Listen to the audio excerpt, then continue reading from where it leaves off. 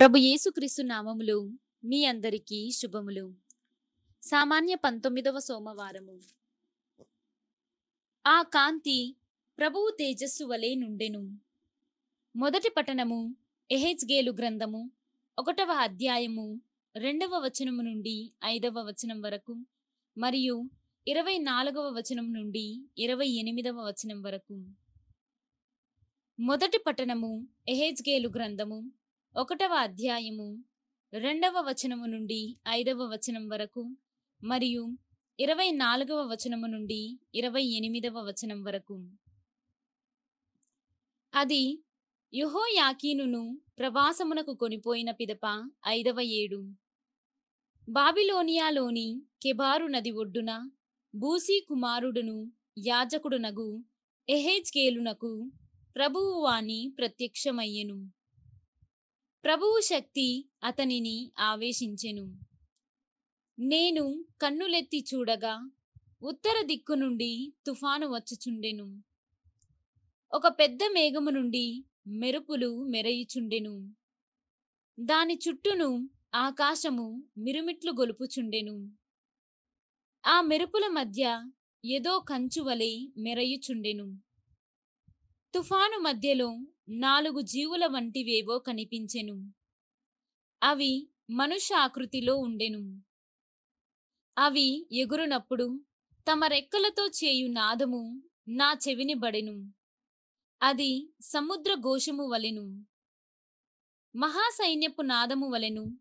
సర్వశక్తిమంతుడైన ప్రభువు ద్వానము వలెను ఉండెను.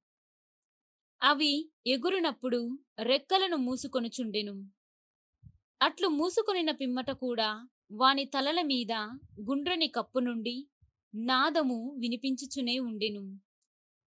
వాని తలపైనున్న కప్పు మీద నీలమణి సింహాసనము వంటిదేదో కనిపించెను. ఆ సింహాసనముపై నరాకృతి కలిగిన జీవి ఒకడు కూర్చుండి ఉండెను. అతడు కంచువలే మెరయుచుండెను. అతని నడుమునకు పైభాగమున క్రింది భాగమును కూడా అగ్నిమయమై ఉండెను. అతని చుట్టూను కాంతి మిరమిట్లు గొలుపుచుండెను. అది వాన రోజున కనిపించు వరద గుడి వలె ఉండెను. ఆ కాంతి ప్రభువు తేజస్సు వలె నుండెను.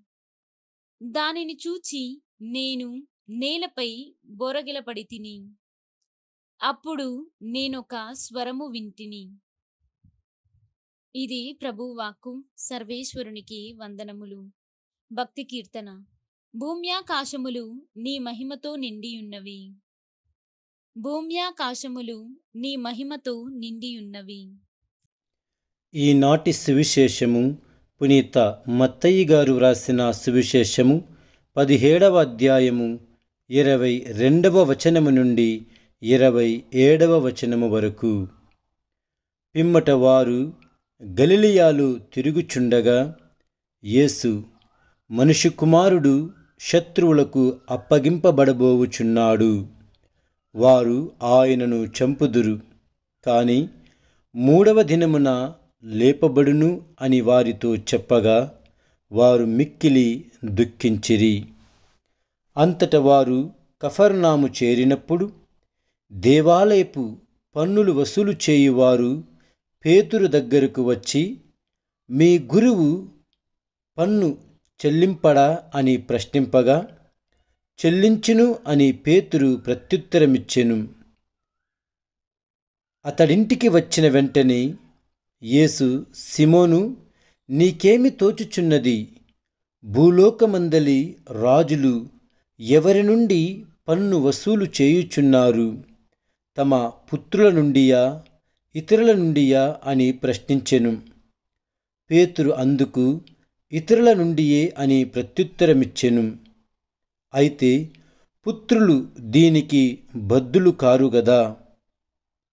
వారు మనలను అన్యదా భావించకుండుటకై నీవు సముద్రమునకు వెళ్ళి గాలము వేయము. మొదట పడిన చేపనోటిని తెరిచినప్పుడు అందుక నాణ్యమును చూతువు. దానిని మన ఇద్దరి కొరకు సుంకముగా చెల్లింపుము అని యేసు సిమోనును ఆదేశించెను. ఇది క్రీస్తు సువిశేషము. క్రీస్తువ మీకు స్థుతి కలుగునుగాక.